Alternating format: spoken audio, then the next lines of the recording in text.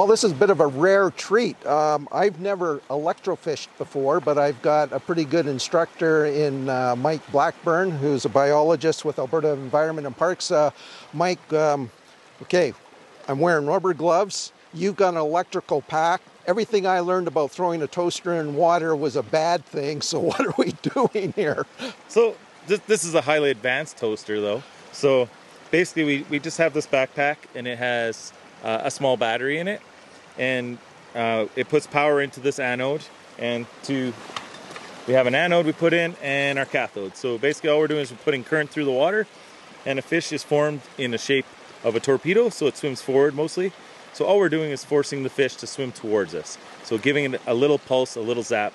We wear gloves as protection because uh, it's probably not going to kill you, but we don't want to give anyone zaps or anything. And it, it, could throw your heart out of rhythm a little bit, and you wouldn't notice. So it, it's it's small power. Uh, if, if, you're careful, it doesn't hurt people and it doesn't hurt the fish. Yeah, well, uh, let's maybe just expand on that. If if it if it's possible to give me a little bit of a heart palpitation, we're talking about a, a fish that's maybe this big. So how do you determine uh, the power that you need to use and, and that type of thing?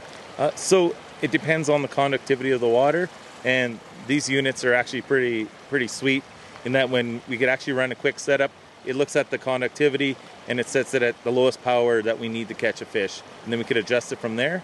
But uh, what's really neat about electricity and fish and, and water is that actually the larger you are, the, the more power that hits you. So bigger fish get hit harder than little fish. So ah.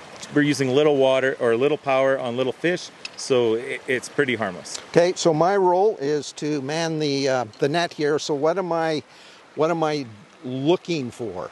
So we're gonna we move in an upstream fashion, so that when we're putting in the power, we're, we're, we're moving the, the wand downstream towards the netter.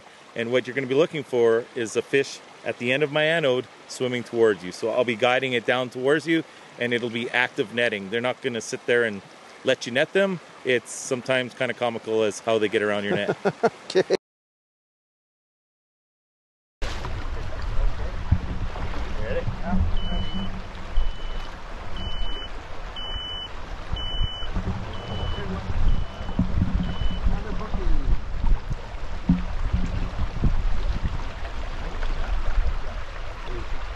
big rock like this.